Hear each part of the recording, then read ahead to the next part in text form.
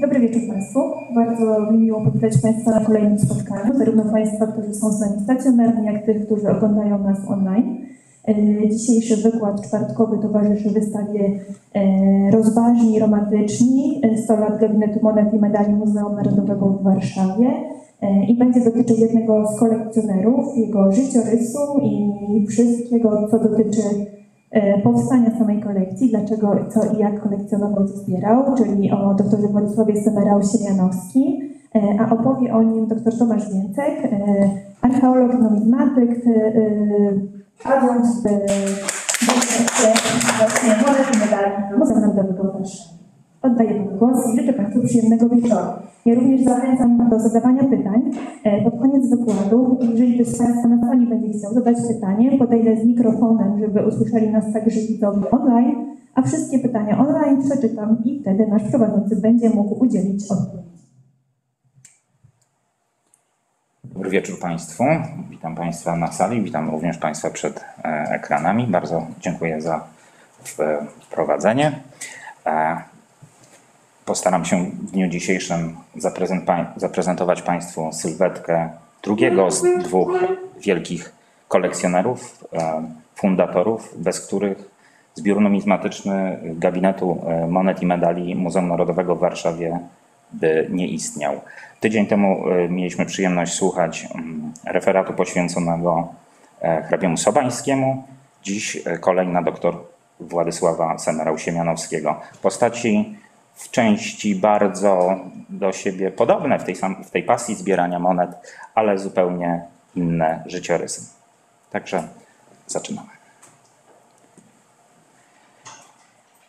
Wpierw e, trzeba, żeby dobrze zrozumieć, e, mieć wgląd w e, życiorys doktora Semerał-Siemianowskiego, e, należy uświadomić sobie, że my znamy jego historię tak naprawdę przez pryzmat jednej osoby. Ja tutaj wprowadziłem taki trochę suspens, nazywając tę osobę tajemniczym narratorem. Większość z Państwa zapewne no, absolutnie domyśla się, e, e, o kogo chodzi. I ten e, postać pana doktora jest widziana właśnie oczami tej osoby i jej spuścizny, to znaczy pewnych listów, pewnych dokumentów, e, także maszynopisów, brudnopisów. Niewiele jest natomiast źródeł z, z pierwszej ręki nam dostępnych. Władysław Semerał-Siemianowski, którego nasz narrator nazywa dziadeczkiem, dziaduniem, władeczkiem, władziuniem, bardzo pieszczotliwie, urodził się 17 maja 1849 roku w majątku Cierplewo nad rzeką Drwęcą powiatu lubawskiego w księstwie poznańskim. Już sama nazwa majątku Cierplewo była tym nomen omen zapowiadającym wiele cierpień, jakie miały spotkać maleńkiego wówczas Władziusia. I tu proszę zwrócić uwagę od razu na pewną cechę, którą nasz narrator, czyli nasz przekaźnik wiedzy o e, bohaterze referatu, że często się myli. I tu już w tym pierwszym e, ustępie jest, e, jest pewna pomyłka i trzeba być na to uczulonym i weryfikować wszystkie te informacje, które w tych materiałach źródłowych się pojawiają. Mianowicie e, tu się zgadza, że jest to Cierplewo, zgadza się, że jest to Wielkie Księstwo Poznańskie, co prawda sam z kraju, z Prusami, ale na pewno nie nad rzeką Drwęcą, która tamtędy nie płynie. E, Powiat lubawski też jest zupełnie innym miejscem. I to, to sygnalizuje, że wszystkie te informacje z materiałów źródłowych należy w zasadzie możliwie jak najdokładniej weryfikować. Także czy faktycznie miał 19 rodzeństwa, nie umiem powiedzieć, nie mam żadnych e, dodatkowych materiałów. Na pewno był synem pierworodnym. Cierplewo jest tutaj, gdzie e, znajduje się punkt e, oznaczony numerem 1. To jest ten, te wszystkie punkty, te 8 punktów tutaj pokazanych na mapie, na mapie e, Prus, ponieważ to, to jest łatwiejsze do mm, zrozumienia, dlaczego, dlaczego pojawiają się te miejsca, a nie inne. A, e, przyszedł na, na świat właśnie tutaj w, w, w Cierplewie, w majątku ojca, który już po około 7-8 latach musiał zostać sprzedany. Wspomniałem, że jest to samo pogranicze ziem poznańskiej z Prusami. Y, Jeżeli zobaczymy dokładniejszą mapę, tu jest tylko taki mały kadr, to Cierplewo jest jedną z niewielu nazw, o, nazw polsko brzmiących. Dookoła w większości są to nazwy, nazwy niemiecko brzmiące. E, Ale dowiadujemy się, że tak naprawdę na 232 mieszkańców tej miejscowości pra, praktycznie połowa to byli ewangelicy, przepraszam, połowa katolicy, więc, więc mm, jakby tutaj pewna symbioza była. Natomiast e, ewidentnie ta sprzedaż majątku właśnie w ręce pruskie już z- zaważyła na braku sympatii e, doktora, późniejszego doktora Semerał Siemianowskiego do e, Prusaków czy Niemców ogólnie. Chociaż tu będą pewne, pewne sytuacje, które e, pokażą, że do końca tak wcale nie było. To jest y, slajdy, które się tutaj w tej prezentacji pojawią, które się nazywają burzliwa epoka, a jest ich kilkanaście, mają za zadanie przybliżyć Państwu e, tło wydarzeń dookoła wydarzeń mm, e, o dużym znaczeniu, które miały lub mogły mieć wpływ na, na y, młodego Władysława, ewentualnie na decyzje, które podejmował, de, y, mm, decyzje życiowe. Tu znowu z, z tekst źródłowy. Przekonuję się, co to za piękna i wzniosła dusza mieszka w tym starym już ciele. Jest to dusza bardzo niezwykła i poznać ją bardzo trudno, ponieważ dziadeczek jest niezmiernie skryty, jak zresztą każdy człowiek głęboko czujący, który wiele wycierpiał.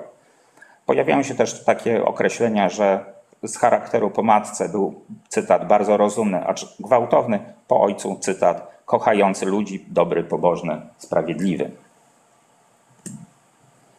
A po sprzedaży majątku w Cierplewie rodzina przeniosła się do Tylic. To jest dzisiaj, dzisiaj e, miejscowość koło e, Nowego Miasta Lubawskiego, mniej więcej 30 km na północny wschód od mm, e, Brodnicy, do majątku państwa Aleksiewiczów, czyli dziadków ze strony matki.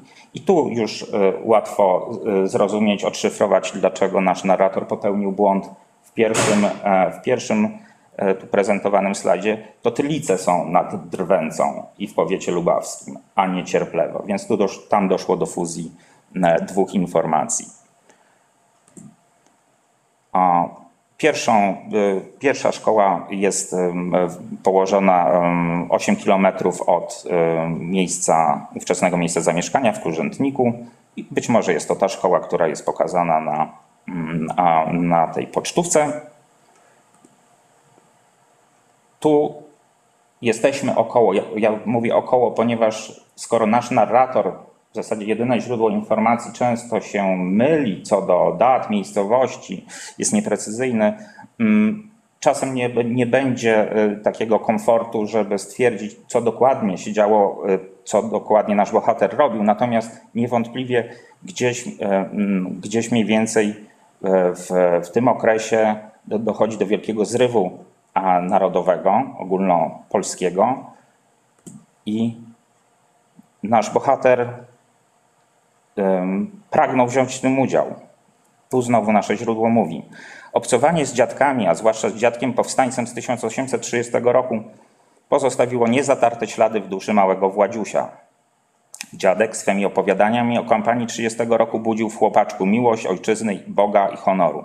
Opowiadania te pozostawiły niezatarty ślad w kochającej i wrażliwej duszy dziecka. W Tylicach przeżywał dziadeczek wielkie chwile powstania 1863 roku. W innym miejscu e, e, ta, nasz narrator mówi właśnie o tym, że chłopak tak się rwał do powstania, że e, znalazł w stajni jakiegoś niedużego konia, chciał go zaprząc, chciał ruszyć na pomoc i ten, ten konik się absolutnie na to nie zgodził i z, po, z podkuloną głową e, młody Władysław dość szybko wrócił do majątku. Tu zaczyna się okres y, gimnazjów. E, Nie jestem pewny, czy e, to, że znalazł się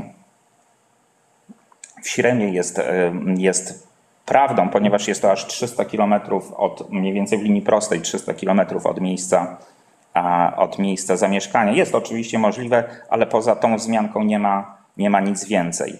E, kolejnym, e, nie, bardzo szybko, nie wiadomo po jakim okresie, mm, ten, to gimnazjum opuścił przedwcześnie. Podobnie drugie gimnazjum w Chełmnie, e, z którego, z którego również nie dokończył. Dlaczego? Tu znowu źródło.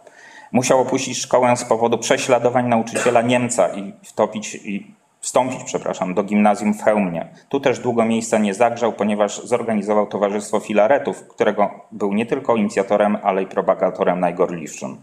Za swą działalność antyniemiecką został dziadeczek niedopuszczony do egzaminów. Wreszcie trzecie miejsce, e, trzecia szkoła średnia, a Chojnice, e, ukończone z wyróżnieniem. W ogóle na przestrzeni całej tej opowieści Państwo na pewno zorientują się, że on był bardzo e, dobrym uczniem i bardzo inteligentnym człowiekiem.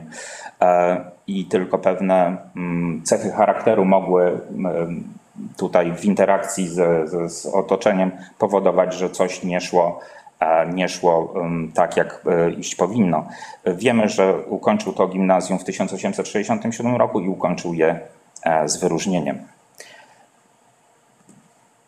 Tu niestety pierwsza taka, pierwsza taka historia symptomatyczna, ponieważ po, tych, po tym dobrym okresie, czyli mm, zdaje maturę, ale jeszcze tuż przed, znowu cytat ze źródła, przed abiturienckimi egzaminami umiera jego najukochańszy dziadek Aleksiewicz, jego nauczyciel i dobrodziej, który w ciągu pobytu dziadeńka w szkołach łożył na jego utrzymanie, ponieważ warunki materialne rodziców z e, rokiem każdym były coraz gorsze, aż wreszcie musieli sprzedać i też i przenieść się na dzierżawę.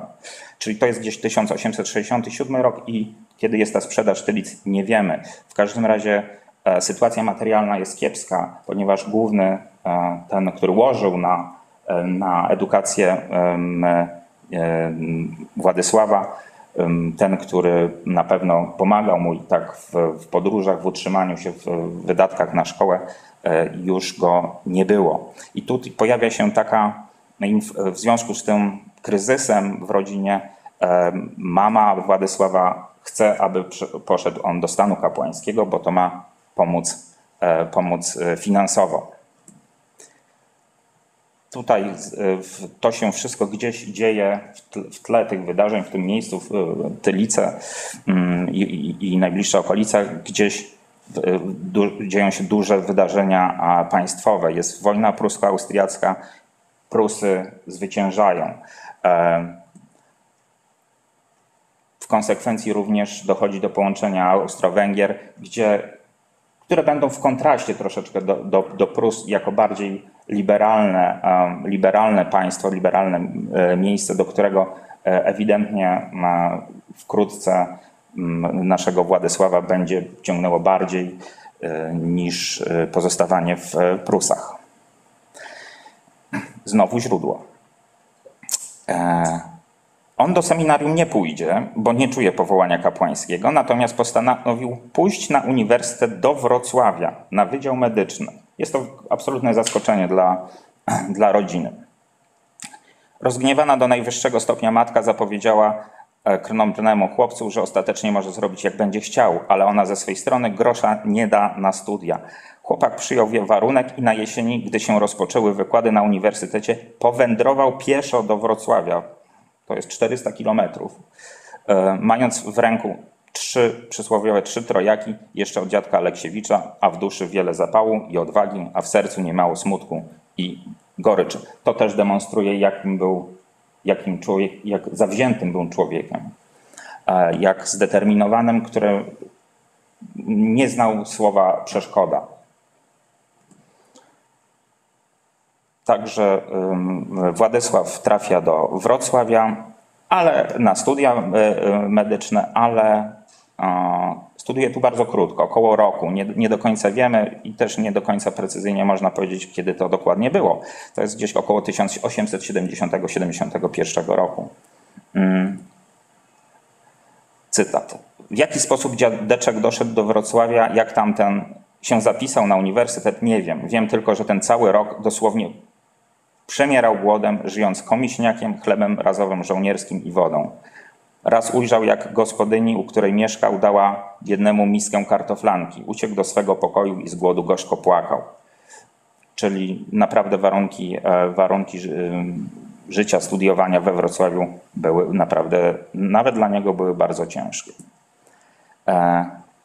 Tutaj w międzyczasie dochodzi do jeszcze jednego duż- ważnego wydarzenia. Jest wojna francusko-pruska, którą bardzo szybko Prusy wygrywają. W konsekwencji dochodzi do zjednoczenia Niemiec. E, To wszystko, e, co się dzieje dookoła, ma wpływ na, mm, na e, Władysława, ponieważ grozi mu wcielenie do wojska, do, do armii pruskiej. I on miał powiedzieć, że ginąć nie chciałem, bo moje życie należało nie do mnie, a do Polski. Po czym po roku pobytu na Uniwersytecie we Wrocławiu e, przenosi się dziadeczek do Uniwersytetu w Krakowie, uciekając w ten sposób przed służbą wojskową w wojsku pruskim. To jest to przeniesienie się z Prus do, do jakby do Austro-Węgier, tak? no, do, bardziej liberalnego, bardziej, bardziej kolorowego, przyjazniejszego środowiska. Dokładnie kiedy to było, nie umiemy jeszcze powiedzieć. W każdym razie e, tam na pewno nasz bohater czuje się lepiej. E, Warto tutaj nadmienić, że od 1870 roku na Uniwersytecie Jagiellońskim wykłady są prowadzone w języku polskim, więc na pewno jest mu, e, jest mu z tym bardzo dobrze. Poprawia się też jego byt, jego, e, jego jakość jego życia, ponieważ e, ma pewne e, przychody, kontakty w środowisku i bierze udział we dodatkowych wykładach.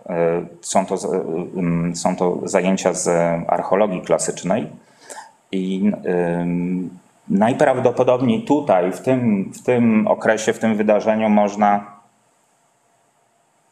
upatrywać e, początków e, pasji tego pociągu do rzeczy antycznych, starożytnych, do archeologii, do, do, do dawnych artefaktów. Oczywiście jego sytuacja finansowa, sytuacja finansowa Władysława i wiek jeszcze kompletnie nie pozwalają mu e, w ogóle myśleć o kolekcjonowaniu. Jest to praktycznie wy- wykluczone. E, I tym, który prawdopodobnie zaszczepił e, w, we Władysławie tę pasję, był profesor e, Józef Łebkowski, który był założycielem gabinetu archeologicznego w Krakowie w 1866 roku. Z tym, co szczególnie mogło ich, tych dwóch panów z, zbliżyć, to jest to, że profesor Łebkowski w 1863 roku był w w okolicy, tak, w, w, na obszarach, prowadził badania, e, kwerendy na obszarach, które e, e, z całą pewnością Władysław uznawał za swoją najbliższą okolicę, czego efektem była, była ta publikacja książki o zabytkach Kruszwicy, Gniezna i Krakowa. Ale Kraków to jeszcze nie było to miejsce, które mm, miejsce docelowe. Znowu źródło. Nie namyślając się długo, przeniósł się dziadeczek po dwóch latach studiów w Krakowie w języku polskim na Uniwersytet do Wiednia, gdzie musiał przerobić cały zdobyty przez siebie materiał na język niemiecki. Praca to była olbrzymia. Mówimy o studiach e, e, medycznych, ponieważ ta archeologia to była tylko, mm, tylko jakaś e, poboczna, em, poboczne studia. E, I warunki materialne dziadeńka w Wiedniu e, były mniej więcej takie jak w Krakowie, ale ponieważ wszystkie egzaminy zdawał świetnie, więc przyznano mu stypendium, które pozwoliło mu rzucić korepetycje i z całym zapałem oddać się studiom medycznym. Także Władysław się szybko rozwija.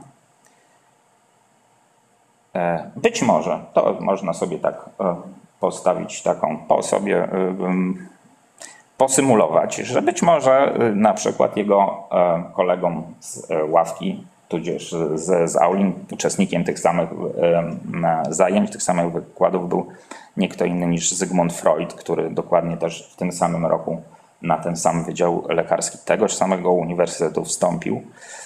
można puścić wodze fantazji, dlaczego by nie. A tutaj y, jeszcze, jeszcze wrócę, że jest, przepraszam. Y, Znowu ten, kiedy zaczął te studia, nie wiemy, kiedy skończył. Prawie na pewno jest to prawidłowa data. Natomiast w międzyczasie, to jest troszeczkę odbiegam od głównego wątku, jest przekaz o tym, że latem 1786 roku Władysław e, miał e, dwumiesięczne czasy, które spędził w Tatrach, w Zakopanem. E, Mieszkał na kwaterze u Krzeptows, Krzeptowskiego i wędrował, czy też spędzał czas z słynnym Sabałą i z równie słynnym doktorem Tytusem e, Chałubińskim. Co było, e, co było efektem tych, tych spotkań oraz co się wydarzyło w trakcie w ogóle tych, tych wakacji, proszę zwrócić uwagę, jak e, nasz bohater był e, po prostu niesamowitym człowiekiem. E, Władysław zebrał około 3000, tak mówi, mówi nasz, nasz narrator, zebrał w okolicy około 3000 ludowych piosenek. E, Robił to, by je utrwalać, utrwalać e, folklor, gwarę. Mm, I tutaj pokazuje to, udało mi się, mm, udało mi się to ustalić, że przynajmniej jeden rękopis znajduje się dzisiaj w, w Muzeum Etnograficznym w Krakowie. Są to piosenki ludowe z Gronika koło Zakopanego, spisane przez Władysława Semerał. Też e, tutaj od razu pojawia się bardzo też znamienna e, historia, jak, jakim, jaką jaki charakter miał e, Władysław, jak reagował na, na, na różne próby, e, czy takie różne mm, sytuacje, które dotykały jego poczucia patriotyzmu. I nasze źródło mówi, podpiwszy, Sabała, podpiwszy sobie, trochę zaśpiewał, przygrywając na gęślikach, jeszcze Polska nie zginęła, póki kura w garnku, jak się kura ugotuje, zjemy po kawałku. I dziadkowi się to bardzo czyli doktorowi Władysławowi Semaru-Siemianowskiemu, bardzo się to nie spodobało i to był prawdopodobnie koniec znajomości z, tak z Sabałą, jak i z e, doktorem Tytusem Chałubińskim. Ale to tutaj raczej ch- chodzi o to, że to był y, nasz bohater, bohater naszego, naszej opowieści. Był człowiekiem no, wielu talentów i y, zawsze starał się pracować, zawsze starał się pracować z myślą nie o sobie, a z myślą o jakimś większym celu. Tym celem częstokroć była Polska. W tym samym, y, wkrótce po tym, po studiach, a zaraz po studiach mm, i uzyskaniu dyplomu lekarskiego w Wiedniu, dochodzi do y, wydarzenia, które ma bardzo ważny e, wpływ na naszego bohatera, czyli jest znowu bardzo krótka, intensywna wojna rosyjsko-turecka, w której oficjalnie Austro-Węgry zachowują się neutralnie, ale tam prowadzą pewne działania mm, e, wspomagające. I Władysław zostaje wysłany na, w zasadzie na front e, jako lekarz e, armii osmańskiej. I e, jest tym lekarzem przez cały okres tej wojny, czyli do, aż do marca 1878 roku. I to, gdzie e, Władysław się znajduje, to jest, dzisiejsza, okoli, to jest dzisiejsze miasto e, bułgarskie Ruse, dawniej nazywane Ruszczukiem, a dokładnie nad e, Dunajem, na, po przeciwnej stronie jest Dziurdziu w dzisiejszej Rumunii. A tutaj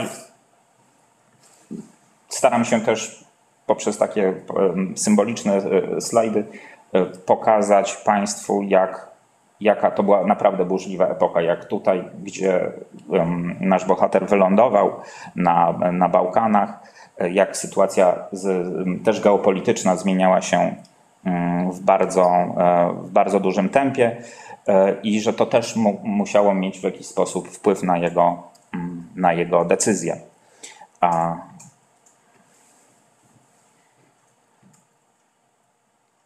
E, Wojna się kończy. E, Władysław Semerał-Siemianowski ze swoim wykształceniem już nie jest lekarzem e, wojskowym, zostaje, e, tu zaczyna się w zasadzie jego kariera jako lekarza związanego z kolejami. Jest, jest, to, jest to służba państwowa, jest urzędnikiem państwowym. Od razu powiem, że mm, jest bardzo duża trudność w w uzyskaniu jakichś, zdobyciu jakichkolwiek informacji e, z obszaru e, państwa osmańskiego, w którym, e, w którym Władysławowi przyszło żyć prawie 40 lat, ponad 40 lat. To jest to bariera językowa na przykład też. Próbując znaleźć jakiekolwiek informacji należy naprawdę precyzyjnie znać trzeba byłoby znać precyzyjne daty i wiedzieć wie, w jakich archiwach, w jakim języku. E, Ja jeszcze tylko dodam, że to, co te różne mm, dodatkowe informacje, mm, które tutaj Państwu prezentuję, e, wszystko to jest e, mm, praca historyka, niedzielnego historyka siedzącego przed internetem. Tu nie ma, za wyjątkiem e, zasobów z, tutaj z lokalnego e, archiwum m- muzealnego, nie ma tutaj żadnych e, rezultatów kwerent, więc cały, całość tego e, życiorysu Władysława ym, buduje się z, z drobnych elementów, które, na które można natrafić właśnie w przestrzeni internetowej. E, Tak nam mówią a przekazy, że e, to właśnie gdzieś, e, kiedy był e, w Rusę, zaczął, ale to jeszcze skala nie była, nie była jakaś duża. Zapewne spacerował, chodził na bazary, na rynki, spotykał ludzi. Mm, Ważnym źródłem informacji, a także koniec końców monet, które trafiły do jego zbioru, to byli pacjenci jego. Różni. E, Pacj- Pacjenci prości, pacjenci e, zamożni e, e, przybywały do niego. Wiemy o tym, że, że leczył bardzo różne osoby i to te kontakty powodowały, że, e, e, że część, spora część numizmatów tymi, tymi kanałami się dostała mm, e, w, w jego ręce. Ale to, już, to, to jeszcze nie jest ten moment. I tutaj dochodzi do takiego mm, wydarzenia, które będzie miało konsekwencje w przyszłości.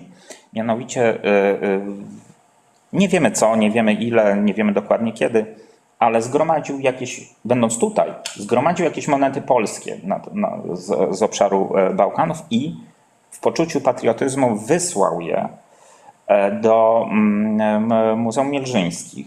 I bardzo go zabolało to, że nigdy na ten swój dar nie dość, że nie otrzymał podziękowań, ale nie otrzymał nawet żadnego potwierdzenia, że w ogóle przyszła jakakolwiek, że ta jego przesyłka dotarła na miejsce i w ogóle wywołała jakiś pozytywny efekt. I to, e, to będzie miało w przyszłości daleko idące e, konsekwencje.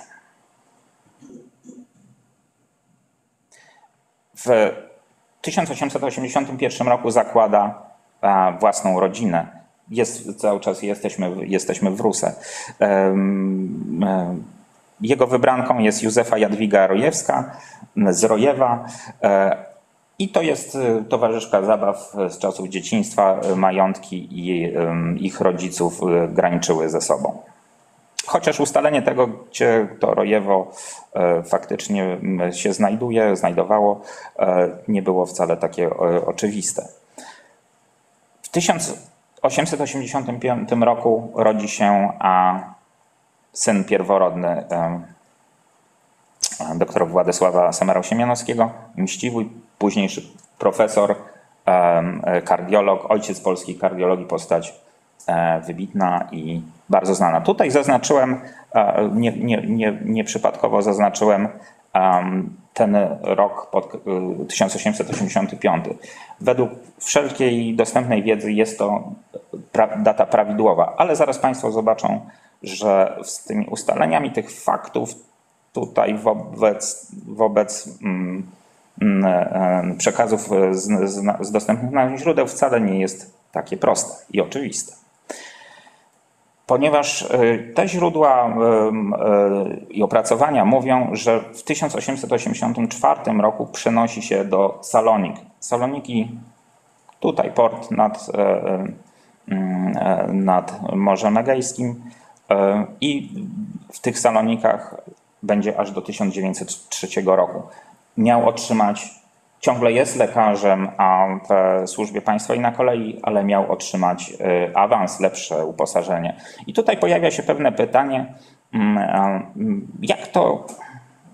Trudno jest to sobie wyobrazić, co, y, jak dokładnie to wyglądało, ponieważ, mm, ponieważ tutaj mamy takie dwa zachowały się takie dwie, dwa dobre, ma, małe, no, strzępki informacji, ale bardzo wiarygodne.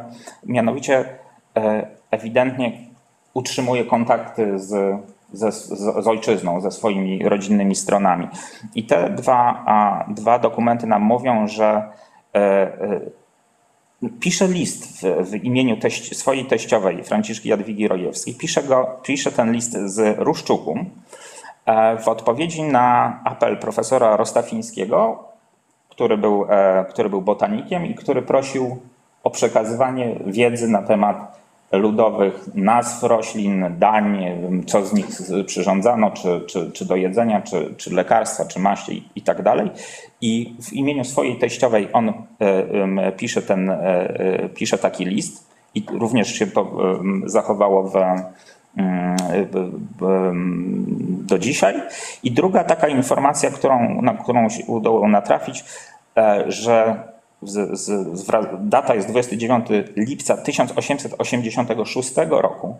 E, dziś zmarła nagle na paraliż płuc w Ruszczuku w Bułgarii matka i babka Franciszka Jadwiga Rojewska z domu Pomierska, doktor Semerał z żoną i synem.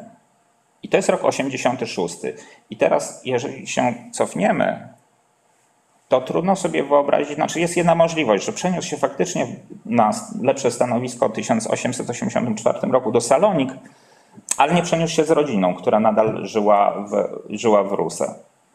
E, I jest to, jest to jedna ewentualność. Druga ewentualność jest taka, że coś z tymi datami się po prostu nie zgadza. I e, Dlaczego to jest dosyć trudne? Odpowiedzią jest na to, że, znaczy wskazówką, że coś tu może się nie zgadzać, jest to, że między Rusy a Salonikami jest 600 km w linii prostej. Kraju górzystego, o słabej sieci drogowej, gdzie dopiero kolej e, powstaje. Ta kolej będzie oczywiście, nie, tutaj pokazuje to mm, mm, nie, nie e, bez powodu, ponieważ no, będąc pracownikiem państwowym na, na kolei na pewno doktor Semerał tą koleją się e, przemieszczał. E, co determinowało, gdzie jeździł, e, w jakich miastach, miasteczkach bywa, gdzie mógł swoje, zakupywać swoje przedmioty do swojego zbioru. Nawet można się pokusić, że być może jeździł słynnym Orient Expressem, choć zapewne jeszcze nie w tym momencie. A e, tutaj tylko na uwagę zasługuje, że jedna, na tym afiszu reklamowym, że jedna z tych nitek, którą jeździł Orient Express, prowadzi przez, przez Ruszczuk, który się tutaj znajduje, aż do Warny, później do Konstantynopola, a była to droga morska. Ale Saloniki mamy tutaj i proszę zobaczyć, że to jest miejsce jakby nie, nie połączone z, z, bezpośrednio z Rusem. E, więc ta sytuacja rodzinna nie jest, nie jest prosta do, do zrekonstruowania. E, tu jeszcze e, proszę, to jest sieć kolejowa, większe, większe linie w tym, w tym regionie. Tutaj jest Rusę, tu są Saloniki. Proszę zwrócić uwagę, że połączenia pomiędzy tymi dwoma miejscowościami nie powstały wcześniej niż w 1888 roku tu i, i później kluczowe połączenie między Tesalonikami a e, Konstantynopolem powstało dopiero w 1895 roku. Więc e, doktor Semerał był w tych Salonikach jakby odizolowany. Oczywiście to jest port, nie wiem, może mógł jakąś podróż tutaj wy wykonywać, ale powiem szczerze, że mam wrażenie, że, że należy tutaj rekonstruować, że to nie był 1884 rok, tylko 1886, ponieważ y, śmierć teściowej e, jakby pozwalała mu wziąć ze sobą do, do Salonik, e, do nowego domu e, mm, swoją, swoją żonę z synem. Tutaj, w tych, będąc w tych Salonikach, no, wojna grecko-osmańska 1897 roku trwa miesiąc, półtora, ale dzieje się 100 kilometrów, 100 kilometrów od, od miejsca pobytu doktora wraz z rodziną. To jest dla mnie znamienne, że jakby był magnesem na, na, na przyciąganie takich, takich konfliktów gdzieś w swoje, w swoje um, otoczenie. I tu dochodzi do. Pamiętają Państwo cierplewo, to, to cierplewo, nomen omen, cierpienie i tragedia, to, to co nam nasz narrator mówi. E, w lipcu 1891 roku, tu znak zapytania, umiera żona. Wkrótce umierają dwie córeczki, których dopiero teraz dowiadujemy się, że w ogóle, e, że w ogóle się narodziły. Prawdopodobnie jest to z powodu zarazy, głodu, to nie było takie, mm, to, było, to jest bardzo prawdopodobne wytłumaczenie. Natomiast tu proszę zwrócić uwagę właśnie, że, no, że e, jest mowa o czwórce drobnych dzieci, dotychczas znaliśmy tylko, tylko Mściwoja i tu też informacja taka, e, że w, w, czasie śmierci um, um, żony Mściwój miał lat 7, a było to w 1891 roku. Jeżeli pamiętamy, kiedy wcześniej się dowiedzieliśmy, że E, Mściwój się urodził w 1885 roku, to albo nie miał on 7 lat, a 6, albo to nie był 1891 rok, bo tu się te dane nie zgadzają. E, w każdym razie jest, ten rok jest absolutnie tragiczny dla e, doktora Semerał. Myślę, wyobrażam sobie, że przeżył to jeszcze mm, boleśniej, będąc lekarzem, wykształconym bardzo dobrze lekarzem, który nie był w stanie pomóc y, i ocalić swoich najbliższych.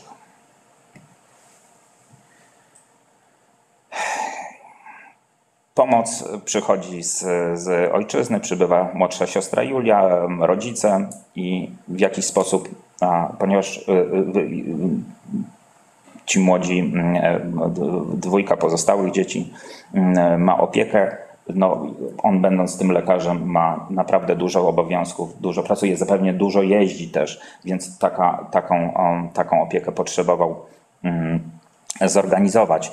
E, ewidentnie, e, skoro też jego sytuacja materialna się poprawiła, on ucieka w to, w to kolekcjonerstwo. To jest jego, dużo pracuje, e, cierpi i w jakiś sposób sobie to rekompensuje. E, e, tym e, zbieraniem monet, terakot, szkła, jednocześnie sprowadzając czy uzyskując dostęp do ówczesnej dostępnej literatury fachowej, przez co pogłębia swoją, swoją wiedzę na ten temat. I tu też dosyć znamienna historia. Jest to w zasadzie jedyna przed wojną, przed II wojną światową opublikowana moneta ze zbioru doktora Semerał. Prawdopodobnie tak, nam, tam, tak się nam mówi, że została znaleziona nad mm, brzegiem jeziora e, Dojran, to jest nie, nieco na północ od e, e, Salonik, około 70 km, i że została znaleziona w 1890 roku. Ale innych miejscach podają takie informacje, że w roku 1896 zdobywa prawdziwą ozdobę z całego swojego zbioru, ów sławny Deronikon, a w innym miejscu pojawia się, to już, to już też można, to są już opracowania, to już nie są materiały źródłowe, to są opracowania publikowane, że monetę tę cytuje e, badacz niemiecki z Berlina Hugo Gebler w artykule z 1895 roku. No to znaleziona, ok, możliwe, znaleziona w 1890 roku, to jest czyjaś relacja ustna, prawdopodobnie znalazcy.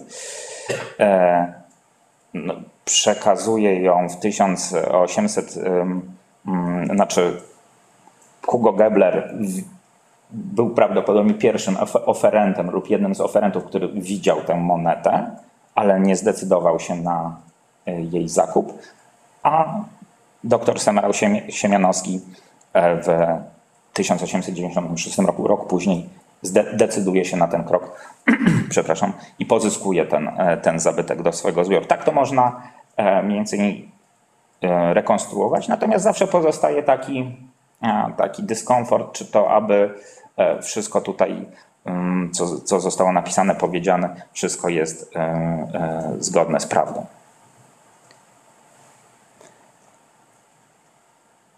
Nadal to jest okres e, życia w salonikach.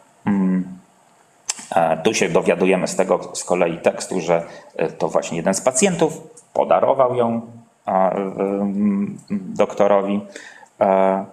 Właśnie e, tu nam też pokazuje, że stać go po prostu może, ma tę możliwość. E, Znowu moja uwaga się na, na, na pociągi kieruje, że jedzie do, e, do Berlina, pojawia się w Paryżu, bierze udział w wydarzeniach naukowych, nawiązuje kontakty, konsultuje się. Tu jest taka też informacja, że faktycznie, bo część, spora część mm, jego zbioru jest charakterystyczna dla regionu, w którym on przez 40 lat żył. Czyli to są na przykład monety, ym, monety greckie krain takich jak Macedonia, jak Tracja, jak e, krainy Azji Mniejszej. Ym, Natomiast obecność w, w zbiorze mm, tutaj, tutaj mm, tutaj wymienionych em, monet z mennicy w Galii, czyli dzisiejszej Francji, no jest troszeczkę trudna, trudna do wytłumaczenia, ponieważ one jakby w materiale e, archeologicznym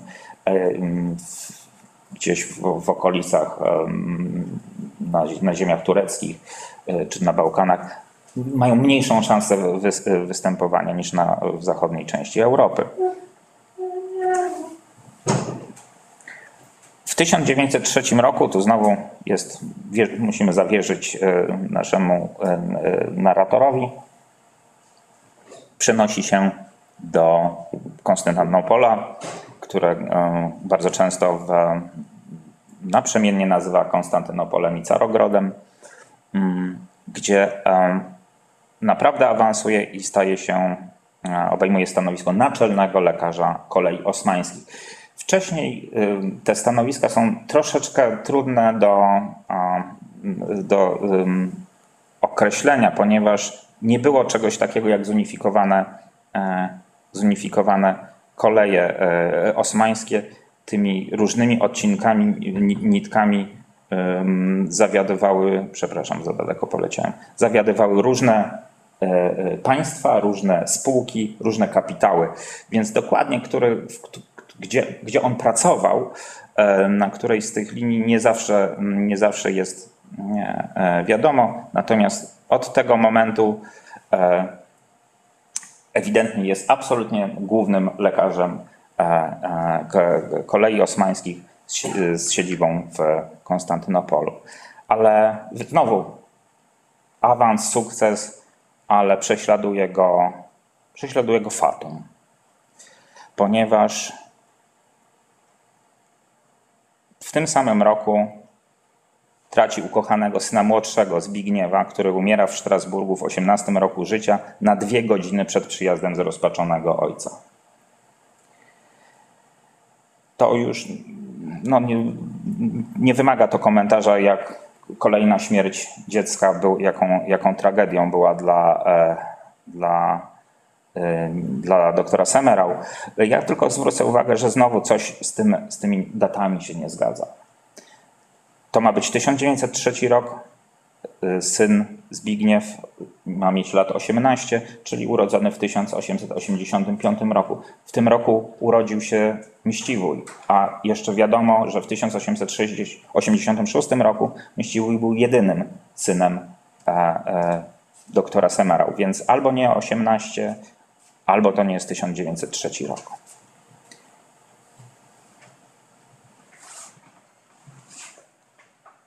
A tym okresie, w którym jest w, w Konstantynopolu, to na ten czas przypadają jego najbardziej intensywne, najlepsze, najbardziej obfite zakupy. Ale mm, e, znowu nie mamy jakby, mm, nie mamy, e, nie znamy wielu e, szczegółów. Wiemy, że cały czas to robi, ponieważ kompensuje sobie e, cierpienie. Mm, Wiemy z pewnych szczątkowych informacji, że taką czołową postacią, jego, em, która, która dla niego pracuje, jest antykwariusz Niszan, Niszarian, Niszanian, Niszarian czasem się pojawia, Ormianin, również pacjent pana, ma, m, pana doktora zaufany i to on jest agentem, pośrednikiem, to Niszan jeździ, chodzi, kupuje, wybiera, przynosi by- być może, e, no, na pewno ma jakieś e, pole do decyzji. e, Zapewne doktor Semerał to przede wszystkim finansuje, ale z całą pewnością nie jest, doktor Semerał nie jest laikiem. On, on się zna, on ma swoje zdanie, jemu się coś może podobać, jemu się coś może nie podobać, może to kupić lub nie za taką czy inną cenę. Mm, Ale więc swoje, swoje zarobki oszczędności wkłada dr Semerał w gromadzenie zbiorów, a sobie stawiając wyłącznie minimalne wymagania. E, Jesteśmy też, to jest czas, w którym e, dochodzi, powoli zaczynają się dziać rewolucja w, w państwie osmańskim. Dzisiaj e, udało mi się znaleźć pewną informację. E, Proszę Państwa, prawdopodobnie tutaj, gdzie, jest Gala, gdzie to jest Galata, ta słynna wieża na, na Galacie, dom, tudzież miejsce pracy pana doktora było położone bardzo blisko tego, e, tego, e, tej wieży. Mówi o tym taki przewodnik dla obcokrajowców po Ko- Konstantynopolu, że jak leka- dobrego lekarza, to proszę szukać w tym doktora Władysława S- Semerał w tym, w tym e, miejscu, w tej dzielnicy. A powoli tak, jest ruch e, nacjonalistyczny, ruch młodoturków, e, powoli się zaczyna rewolucja. Proszę zwrócić uwagę, że to są materiały, te ulotki, afisze, te, te pam, różne pamflety, satyry, to są ze zbioru Władysława Semerał, który, który również tego typu materiały gromadził i bardzo dużo a również dziś znajduje się w zbiorach Muzeum Narodowego w Warszawie.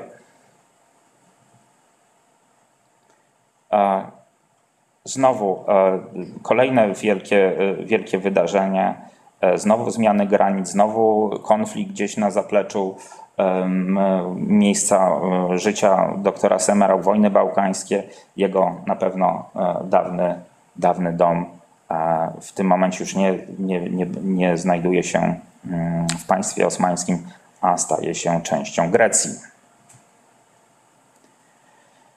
I kolejne absolutnie e, wstrząsające wydarzenie, czy wojna, pierwsza wojna światowa, e, ma to wpływ na, na ma to związek z, z kolekcjonowaniem e, zabytków, kolekcjonowaniem monet, ponieważ ona się również dzieje przecież na, na Morzu Śródziemnym. E, e, Państwo osmańskie jest, jest e, w zasadzie odizolowane, e, e, nie ma ruchu, e, nie ma ruchu e, normalnego ruchu morskiego. E, Również te koleje e, nie, nie funkcjonują. E, To jest, ten rynek antykwaryczny jest izolowany.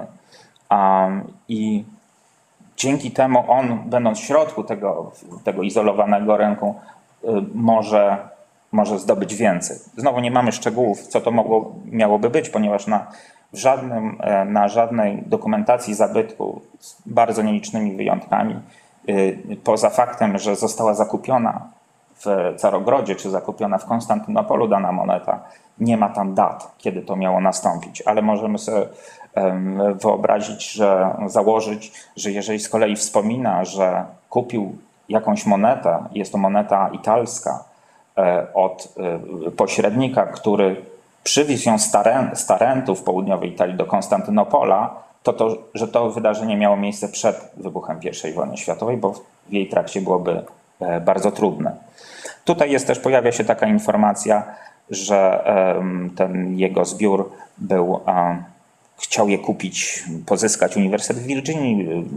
Dr Semerał odmówił. Ja do tej pory nie znalazłem mm, żadnych informacji potwierdzających i nie mam pomysłu, który to i kiedy ten Uniwersytet w Virginii miałby e, taką, e, takie zainteresowanie z, zgłosić. I tutaj są cztery kategorie mm, tego, e, skąd pozyskuje mm, swoje numizmaty. Niszan, Niszarian, e, Niszanian jest, najczęściej się pojawia, pojawiają się e, informacje, że kupiona na przykład od o.beja, no ale do tego opisu to niestety pasuje zbyt dużo, zbyt dużo osób, nie mając daty ani miejsca, znowu nie możemy się domyślać o kogo chodzi. Otrzymuje w darze od pacjentów. Wiemy, że podróżuje, y, lubi pchletargi, m, markety, bazary, pojawia się tam i, mm, i, e, i coś sobie wybiera. Spaceruje dużo. Są świadectwa, że również sam coś osobiście nad brzegami morza znalazł. Przychodzi wreszcie ten dzień, jak to jest powiedziane, dla e, 11 listopada, najpiękniejszy dzień w życiu doktora Semerał. E, niepodle- e, jest, Polska staje się niepodległa i zaczyna doktor Semerał, e, jakby wizualizuje mu się szansa na powrót do Polski i pojawia się kwestia, co zrobić z, ze swoim zgromadzonym dotąd zbiorem. Ale jeszcze nie może, znowu, każdą, każdą dobrą wiadomość natychmiast, natychmiast jest ripostowana przez złą wiadomość. E, w 1919 roku umiera jego młodsza siostra Julia, która była opiekunką tak jego, jak i jego e, dwóch synów. I on absolutnie już pragnie, pragnie wrócić do kraju po 40 latach e, tej, e, tej tułaczki, tych doświadczeń różnych, z których dużo było negatywnych i to jest mm, absolutnie się decyduje i, i uruchamia e, e, możliwe kontakty. A, ale żeby nie było to takie, mm, takie oczywiste, to sytuacja tak w kraju, z którego chce wyjechać, nie jest prosta, jak nie jest prosta sytuacja kraju, do którego chce przyjechać. To jest jakby znowu znamienne dla, dla postaci e, pana doktora. Ale tu, się, tu jest organizowana operacja przewozu. Oczywiście muszą być w to zaangażowane różnego rodzaju e, służby ministerialne, dyplomatyczne, różnych lokalnych e, placówek znających, e, znających realia. Koszty tej operacji są, są duże, ale wszyscy jednogłośnie, jakby jednomyślnie chcą zrealizować ten, ten, ten plan. A w, tu nie udało mi się znaleźć e, zdjęcia tej postaci, że czołową osobą, która, mm, mm, która pomogła e, w tej operacji był e, Jerzy Bratkowski, kolejny z pacjentów pana doktora, sekretarz delegacji Rzeczpospolitej Polskiej przy Wysokiej Porcie. Pomaga w tym całej operacji i pakowaniu. To oczywiście się wszystko dzieje dosyć dyskretnie. I e, ten ów antykwariusz Niszan Niszanian, mm, przyjaciel e, doktora, pakują, a, pakują cały ten dobytek, zbiór, nie tylko monety, szkła, e, terakoty, także te afisze, dokumenty papierowe i inne. Mm. Doktor Semerał, tęskniący za ujrzeniem Polski, jest wzruszony i szczęśliwy.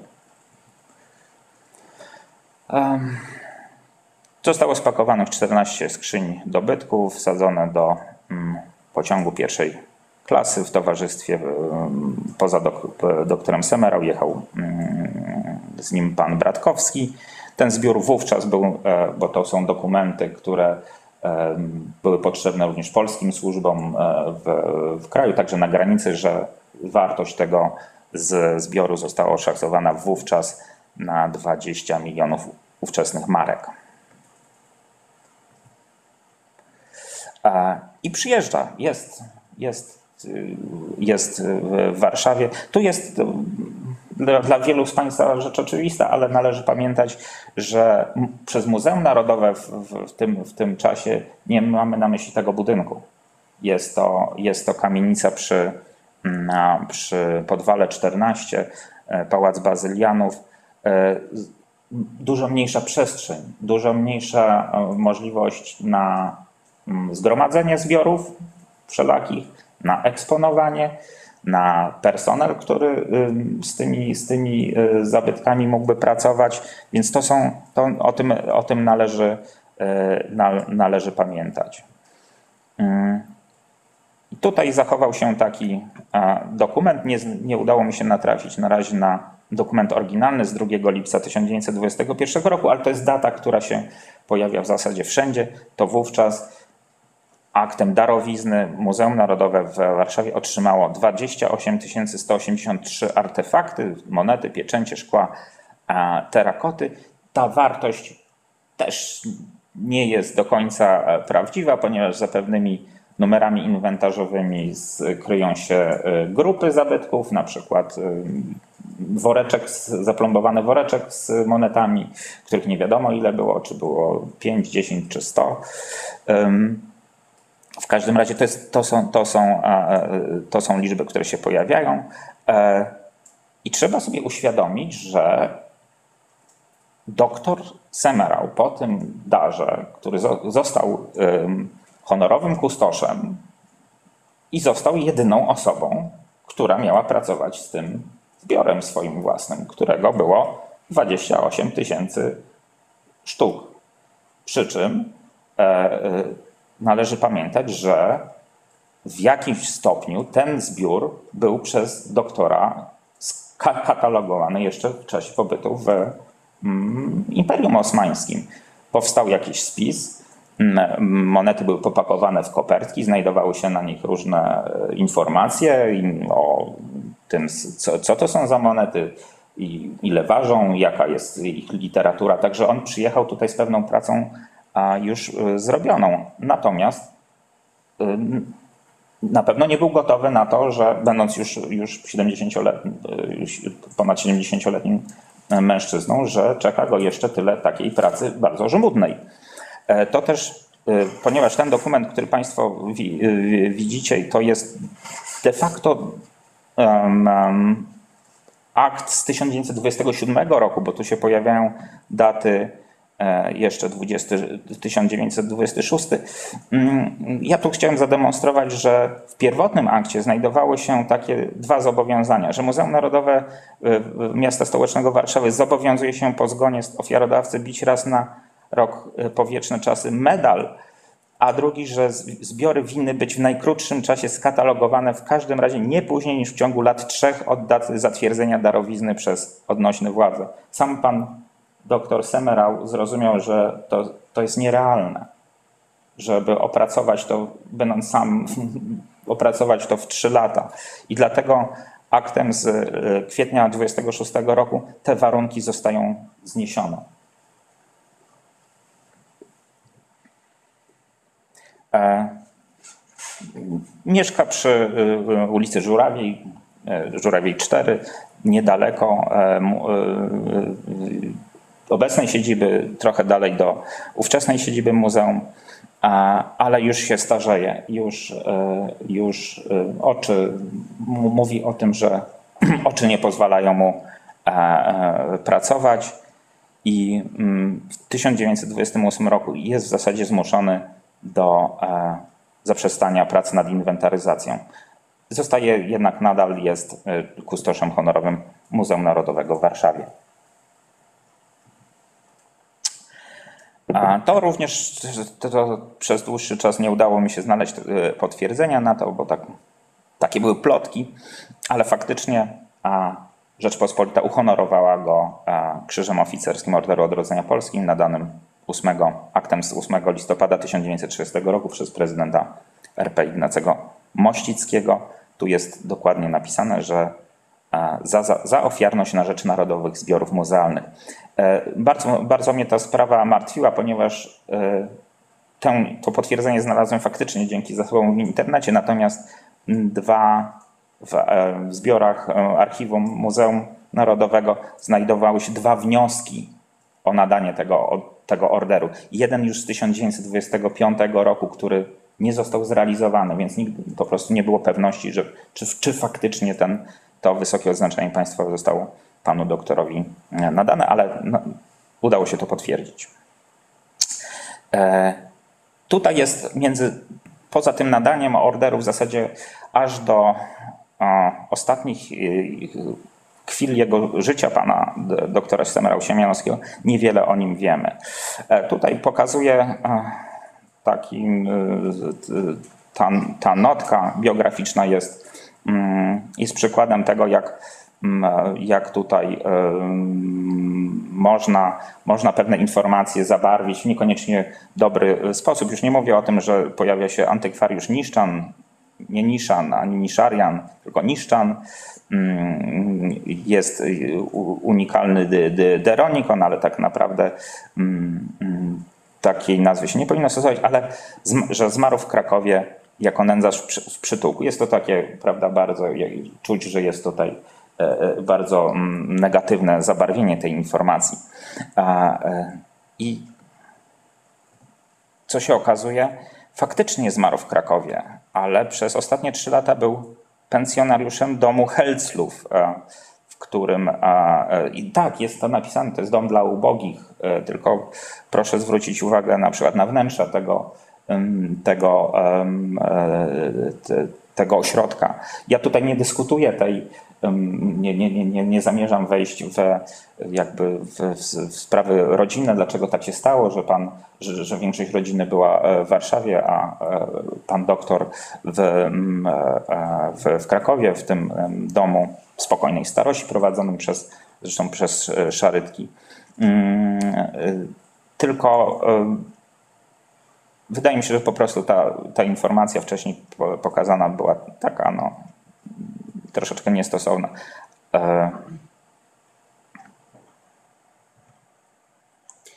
I też również dwa, dwa mm, no, może dwa wspomnienia, które się ukazują około dwa tygodnie po, e, po śmierci doktora w, dzienniku bydgoskim po lewej stronie, w ilustrowanym kurierze codziennym z Krakowa po prawej stronie i znowu y, jest, to nazwałem jakimś niezbyt dobrym dziennikarstwem, ten Zgon Wielkopolanina, to jest, to jest wyeksponowane. Proszę sobie przypomnieć o tym, o tym e, e, e, jak go potraktowało jego dar wysłany z, z te, te monety polskie, które sprezentował, wysłał kilka tysięcy kilometrów do, do, do Wielkopolski i nie dostał żadnej, żadnej odpowiedzi, na, że drugi, z kolei drugie wspomnienie w, w połowie tekstu nie mówi o nim, zmienia temat.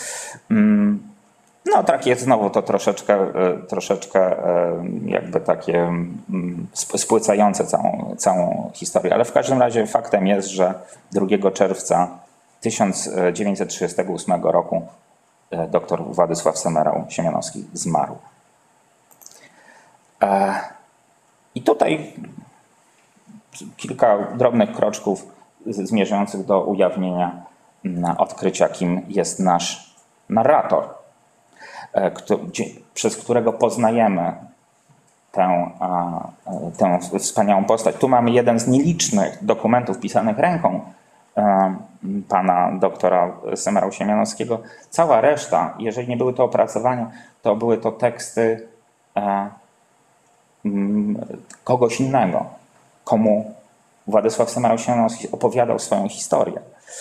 E, I to jest, ta moja, e, to jest ta moja współpracowniczka. Nie znamy daty tego dokumentu, ale to jest, on, mm, to jest po, po między 21 a może 20, 1926 rokiem. E, to jest ta sama osoba, która opublikowała tę monetę Deronikonów, która nie podpisała się imieniem i nazwiskiem, nie, są tylko inicjały. Mm, to jest ta sama osoba, która się myli tak bardzo często i pisze takie różne konfliktujące informacje. To jest powojenny e, biogram, który się ukazał, fragment biogramu doktora, który ukazał się po wojnie, e, że urodził się w 1949 roku znowu w Cierplewie nad Drwęcą. I to trzeba pamiętać, że y, znaczy rzuca taki cień, cień y, że, jest to, że to jest nasze źródło niedoskonałe troszeczkę, skoro ma takie tendencje do mylenia się. E, I tą, nie jest to specjalnie wielką tajemnicą, że mowa jest tu o pani Annie Szemiotowej z domu Doroszewskiej, która e, była absolutnie zafascynowana, e, zafascynowana postacią doktora Semerał, która pojawiła się, przyjechała z Moskwy, notabene młodsza siostra e, profesora Witolda Doroszewskiego. E, mm, Przyjechała, wcześniej była biuralistką w Moskwie, jako biuralistką, ona sama siebie nazywa biuralistką. E, Nie miała skończonych studiów, była za to bardzo dobrym rysowniczką i została przydana mm, mm, na, w, siedzibie na Podwalu, została przydana e, panu doktorowi do pomocy w opracowaniach i to jej ręką jest spisanych większość kart zabytków, większość wpisów w księgach inwentarzowych, e, a także jeżeli się pojawiają jakieś em, ryciny, em, rysunki, to ona jest autorem na e, wizerunków monet e, zachowanych do, do, do dnia dzisiejszego. Mm, To jest dosyć e, też ciekawe, to też rzuca e, więcej światła na, na sytuację Muzeum Narodowego, zanim się przeniosło tutaj e, do tej siedziby, że to była e, bardzo mała, e, bardzo mała i organizacja, w której nie zawsze wszystko bywało mm, świetnie pod względem finansowym czy, czy, czy, czy personalnym. E, Proszę sobie wyobrazić, że wraz z odejściem e, pana doktora w 1928 roku, to pani Szemiotowa została jedyną osobą, której, na której spoczęło zadanie uporządkowania, zainwentaryzowania, skatalogowania, opisania, zidentyfikowania e, całego tego zbioru, co było w zasadzie jeszcze w dwóch trzecich wówczas niewykonane.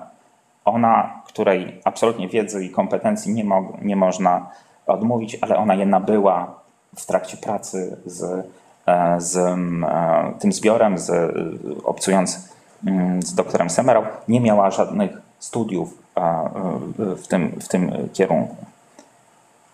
I to, co chcę jeszcze powiedzieć, to, że sama postać również pani, pani kustosz Szemiotowej to jest materiał na absolutnie e, osobny referat. Tak samo jak sprawa, jak wyglądała przed wojną kolekcja mm, e, doktora Semerał w liczbach, w, w kategoriach e, i jak ona wygląda z dzisiejszej perspektywy, ponieważ tak naprawdę e, zachowana dokumentacja, pewne, mm, pewne nawyki, które już miały miejsce przed wojną. To nie tylko, że druga wojna światowa, to nie tylko, że PRL coś tutaj tak nam zaburzył, ale to już przed, już drugiej RP działy się pewne rzeczy, które powodowały bałagan, który jest w tej e, kolekcji, w tych liczbach, co jest dzisiaj bardzo trudne do naprawienia, zrekonstruowania i odpowiedzenia dokładnie co, ile, gdzie, jak z kolekcją numizmatyczną y, Semerał Siemianowskiego było. Dziękuję Państwu. Myślę, że na tym.